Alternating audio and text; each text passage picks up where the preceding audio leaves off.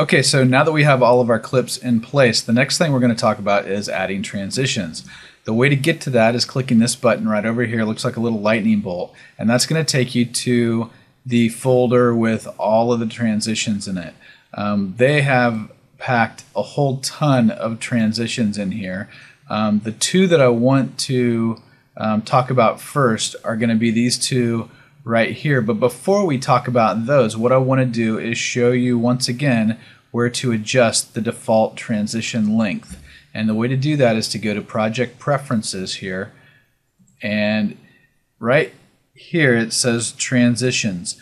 Um, this one it's currently set to two seconds. I like to have my transitions a little shorter.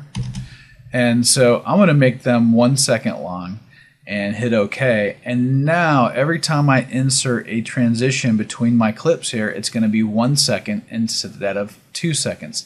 I find that two seconds is maybe just a little bit too long and I lose too much of the video before and after um, and draw a lot of attention to the transition itself, which I don't really like to do. So um, the first two that I want to talk about are these two right here. This one is a fade up and fade out uh, fade down uh, transition. You can see what it does over here. Um, and actually, if you put it between two clips, then it actually will fade down and then fade back up to the second one. Um, most often, this transition is used at the very beginning or the very end of a movie. So if I take it and I drag it down here to the very start, then it's going to fade up from black and right in to my video, just like that.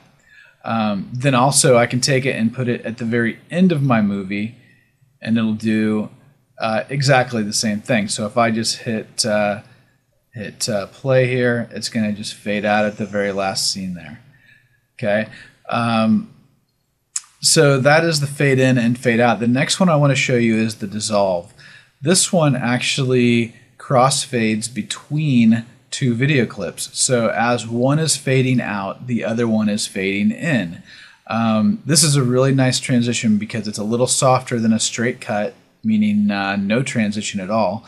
But it actually adds um, a little bit of warmth to the transition, and that can sometimes represent the passage of time.